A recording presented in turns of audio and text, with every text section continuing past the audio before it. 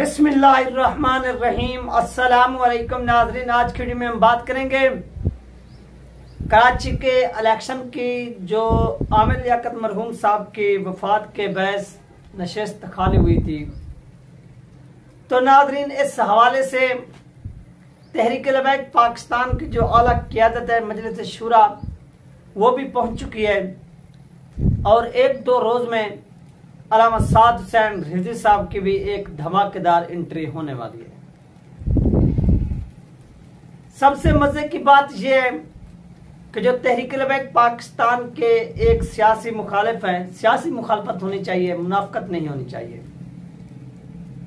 उनका नाम है मुस्तफ़ा कमाल साहब। तो उनकी भी एंट्री हुई है अभी अभी, और उनका एक वीडियो पैगाम सामने आया है। उन्होंने अपने वीडियो पैगाम में कहा है कि देखें कराची की आवाम भी देखे, सब कुछ देखे कि आपको पीपल पार्टी ने कुछ नहीं दिया।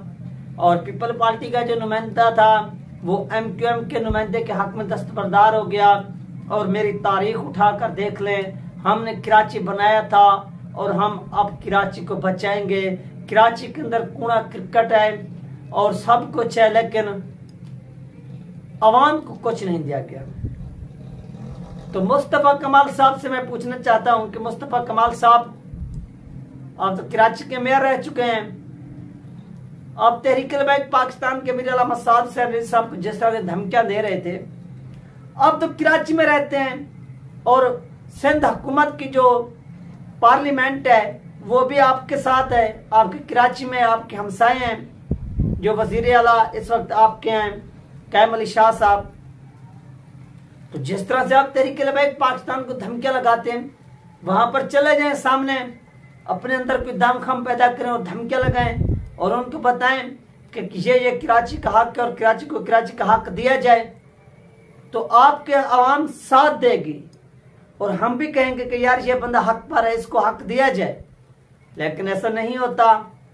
आप बैठ जाते हैं जब इलेक्शन का टाइम आता है तो आप फिर चले जाते और आपकी जो तारीख बताती है कि आपने जिस तरह से कराची को बनाया है, वो भी पूरी दुनिया देखती है और जानती है कि आपने कराची को किस तरह से बनाया है। जिस तरह से आपने कराची को बनाया है, ऐसा अल्लाह पाक पाकिस्तान के किसी शहर को ना बनाए।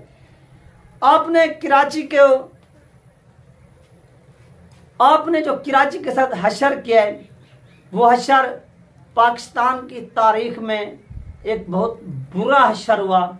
और रोज़ाना यहाँ पर 20 से 25 बोरी बंद लाशें मिलती थी। ये आपका कारनामा था और ये कारनामा आप सरंजाम देते थे और ये आप कराची की खिदमत करते थे। ये आपके कारनामे और आप वीडियो पैगाम में कहते हैं कि आपने अगर किसी और को वोट दिया तो जो आपका वोट है, वो जय हो जाएगा। तो जो आपको वोट देगा तो क्या आपका वोट जय नहीं होगा?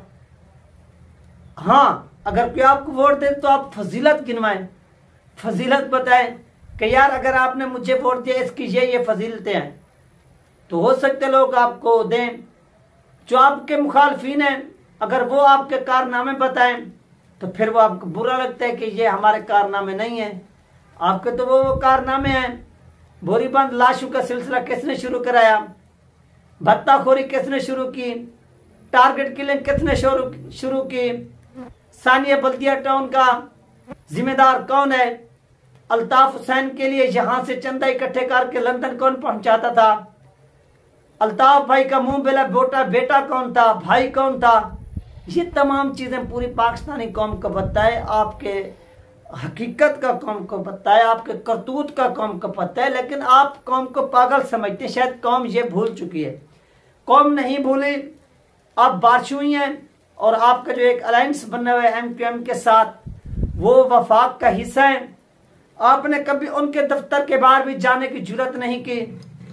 बस आपको यही तकलीफ़ होती है कि ये तहरीक लबैक पाकिस्तान कराची में क्यों आई है? और तहरीक लबैक पाकिस्तान के कराची में आने का मकसद क्या है? साफ़ सी बात है कि तहरीक लबैक पाकिस्तान कराची में इस वजह से आई है वो कराची की आवाम के लिए कुछ करना चाहती है। वो कराची की आवाम के मसैल हल, हल करना चाहती है। वो कराची की आवाम को कुछ देना चाहती है। वो कराची की आवाम को ये सेवरेज का सिस्टम देना चाहती है, जो बारिशें होती हैं तो पानी जो है, वो पूरे सिटी एरिया का, वो घरों में घुस जाता है। तहरीक लबैक पाकिस्तान निकासी का निज़ाम बनाना चाहती है। तहरीक लबैक पाकिस्तान कराची की आवाम को इंसाफ देना चाहती है। तहरीक लबैक पाकिस्तान कराची के अंदर टारगेट किलिंग के जो मुजरम है, उनको नथ डालना जानती है। तो कराची की आवाम के लिए तहरीक लबैक पाकिस्तान इंसाफ फ्राहम करना चाहती है। तहरीक लबैक पाकिस्तान कराची के अंदर जो कातिल आज़ादाना घूम रहे हैं, उनको सजा दिलवाना चाहती है। तहरीक लबैक पाकिस्तान चाइना कटिंग करने वालों को पकड़ना चाहती है। उनसे वो कराची का सब कुछ खाया हुआ माल उगलवाना चाहती है और भत्ते खोरों को लगाम डालना चाहती है। ये तहरीक लबैक पाकिस्तान का काम है। जबकि जो आपका काम है जो आपके कारनामे हैं, आपका काम नहीं, काम एक छोटा लफ्ज है, इसके लिए इस्तेमाल होगा कारनामा। आप जो के जो कारनामे हैं, वो पूरी दुनिया देख चुकी है, और आपके कारनामे ये हैं कि भत्ताखोरी, टारगेट किलिंग, और इसके अलावा सब कुछ चाइना कटिंग वगैरह, ये आपका काम है, और आप धमकियाँ देते हैं तहरीक पाकिस्तान को, आप इस तरह से करें। कि आप अपने बंदे इकट्ठे करें और ये धमकी पहले जरदारी को लगाएँ कि जरदारी साहब, आप हमारा काम करें। और अगर ना किया तो हम आपके खिलाफ धरना देंगे और कराची बिलाल हाउस के सामने जाकर धरना दें। वज़ीर अला सिंध हाउस के सामने जाकर धरना दें। लेकिन आप ऐसा नहीं करते, क्योंकि आपकी जो उनके साथ दोस्ती है, उसमें खलल आ जाएगा। लेकिन आप सिर्फ़ और सिर्फ़ वोट हासिल करना चाहते हैं कि वोट के ज़रिए इकतदार मिल जाए और हम लोग इस्लामाबाद तक पहुँच जाए। हर बंदा अपनी मेहनत करता है, आप सियासत भी करें, आप अपनी मेहनत भी करें। लेकिन किसी के साथ जाति दुश्मनी ना करें, किसी के साथ जातियात पर ना उतरें, इसका नुकसान होता है। तहरीक बैग पाकिस्तान के अमीर साद हुसैन रेजी साहब ने गुजशत ज़मनी इलेक्शन में, आपको मालूम है कि उनके साथ जो हुआ, उनके ऊपर सीधे फैर किए गए। लेकिन उन्होंने कोई जातियात पर नहीं उतरे, बल्कि उन्होंने वहाँ पर जो लोग गिरफ़्तार हो गए थे, इसी मुस्तफ़ा कमाल साहब के तो उन्होंने उनको माफ़ कर दिया, छोड़ दिया। ये उन्होंने बड़ा दिल किया। मुस्तफ़ा कमाल की तरह उन्होंने मुनाफ्त नहीं की कि वो खड़े हो जाते और प्रेस कॉन्फ्रेंस करते कि इनको अब हम सजा देने जा रहे हैं।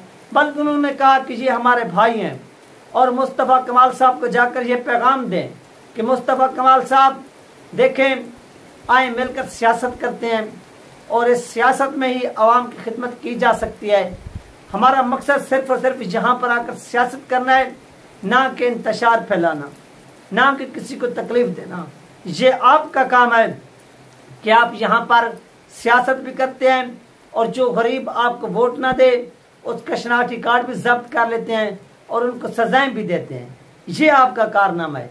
जब करामत साद से रेजी साहब का एक किनारे के कोई वोट दे या ना दे। वो पाकिस्तान का शहरी है, उसके बराबर के हकूक हैं और सब बंदा आज़ाद है।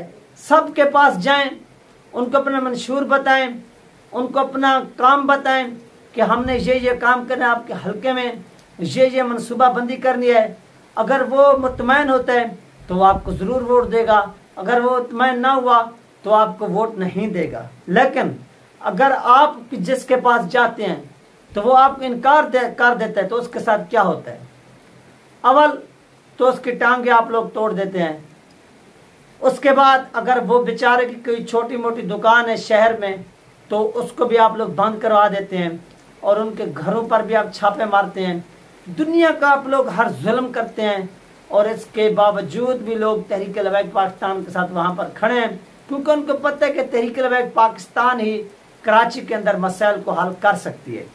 जैसा कि गुजशत मंथ में जो बारिशों हुई और बारिशों ने तबाही मचाई और तहरीक लवैक पाकिस्तान ने वहाँ पर काम किए और पूरी दुनिया ने देखा कि बहुत ही खूबसूरत अंदाज में उन्होंने वहाँ पर जाकर काम किया, लोगों की मदद की और इसके अलावा बलोचिस्तान में भी मदद की। अब इलेक्शन का दिन है, इक्कीस को देखना यह है कि आवाम यहाँ पर किसको वोट देती है और फतह किसका मुकद्दर ठहरती है? इस सवाल के नाजरीन, जैसे मजीद अपडेट मिलेगी इन वो भी आप लोगों के साथ शेयर कर दी जाएगी। अपना ख्याल के अगर मुझे दो में याद रखिएगा। अल्लाह हाफिज़।